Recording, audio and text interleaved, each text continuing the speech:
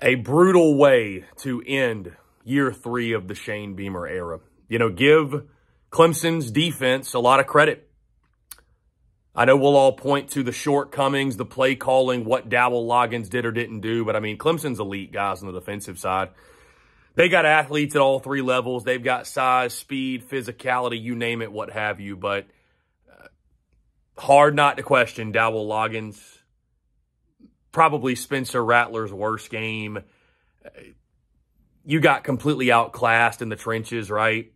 And what's a shame in it all is that the defense was the problem it felt like for most of the season. They they play a great game and you can just do nothing with it. So disappointing against a really beatable Clemson team. Not a great team, obviously, and uh, five and seven.